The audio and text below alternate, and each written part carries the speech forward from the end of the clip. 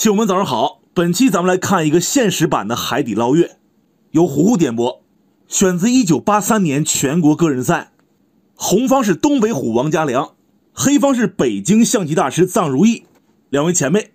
好，比赛开始，第一步王老当头炮，臧大师马来跳，跳马出车出车，黑方此时进炮过河，直接压上来，红方挺个兵松开马腿对手反加中炮。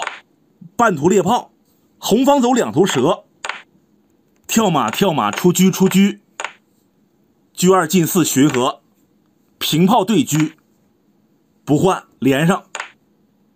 这边防御弱呀，红方进车要吃卒捉马，藏大师平炮对车，还打着底象。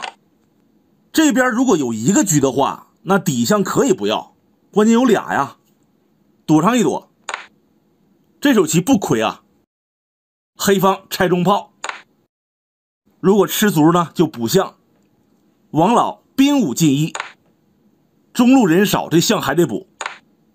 红方马七进五，对手补士，冲兵过河，拱了，然后平局吃卒。黑方走卒七进一，这手棋算挺远。主要是防止红方进马过河以后踩中象。咱们往下推演一下，黑方吃兵，红方吃马没用啊，黑方可以平炮打串主要看他这个踩中象，飞了，打象一将，出将，平炮吃马，黑方给炮干掉，刚好给三路马加根。往下发展也是黑方好走了。回到实战，黑方卒七进一，进马过河说了，直接吃呢。黑方杀过来，双车占两条线，红方没有便宜。王老走车七平三，他没有跟，逃上一逃。这里吃卒呢变化就少了，黑方打车，红方拱车，换子儿。现场是兵三进一过河，哎，我怎么感觉我的嗓子有点痒呢？是不是中招了？不管了，先把这边棋录完。这个红方过兵了是吧？要拱马，藏大师进卒过河，炮打着车呢，杀回来，平车要对，红方仗着车有根，不管，进兵拱马，往上跳。要是还拱，那黑方就把车换了，然后再跳马，没有问题。当时啊，红方车一平二，四车相对，场面比较混乱，吃掉踩了。黑方马五进三，平车一夹，下面极有可能就要打中卒了，先给他保护起来。红方平炮打马。这不是能多吃个象吗？这时候对手使活了，卒五进一，白送，红方打掉，紧接着提炮打车，这啥套路啊？那王老说我打中士啊，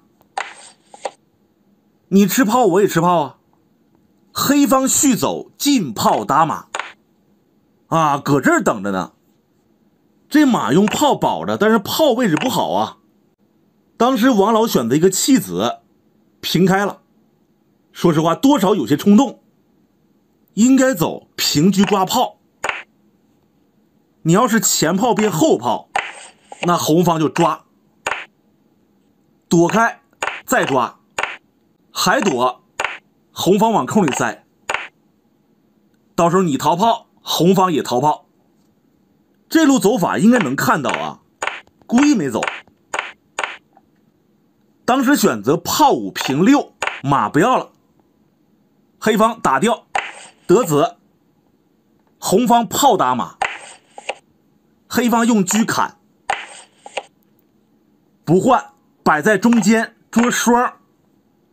王老当时算到了这一步，以为对手会进车保炮，然后红方杀象一将，但是他算漏了一步啊。此时藏大师妙手退炮，弃马了。红方一愣，想了一下，最后还是去打的马，因为你走别的不行啊。你说你砍向一将，那黑方就电炮，这个车动不了了，不能平。关键你这么一弄，马都打不了了，黑方象踩着车呢。你要是再逃车，黑方马就上来了，所以杀象不行。第二种比较明显，红方不能砍中炮，否则平炮打死车。所以经过分析啊，红方只能去吃马了。那刚才黑方好不容易得子，现在又反弃回去，什么意思呀？看好了，平炮打车，平到右侧。这手棋也是有些失算，应该是平一步。他现在跟马一条线呢，黑方送车，不敢吃，飞龙在天，重炮将绝杀。太巧了，金马保车也不行，前炮平走，用后炮将，切记还别着马腿儿，车脱根了，这样走不行吗？他只能自己逃了。黑方下的稳当，没有急于吃马。你要直接干掉，红方有可能会进车，跟他换炮，那就不太好赢了。在吃马之前，先走飞龙在天一将，对手唯有电车，此时再将其做掉。红方现在难受的很呐，人家有空头炮。没法补士补象，车不能砍前炮，要不然后炮打老帅了，那就出来溜达溜达吧。车将往三楼走，退回来欺负一下，躲车，象三进屋打他，闪人，平炮一将，老帅不能往左，平车有杀，只能往右。最后，黑方进炮打士，海底捞月，一招毙命。至此，王老就投了，因为那车丢了，不敢躲，平车有杀，非主流的海底捞月。这盘棋，藏大师退炮弃马走的真硬啊！王老也是算漏了，要不然局势还是挺平稳的。好，那就这样，我去看看嗓子怎么回事棋友们，下期不一定再见。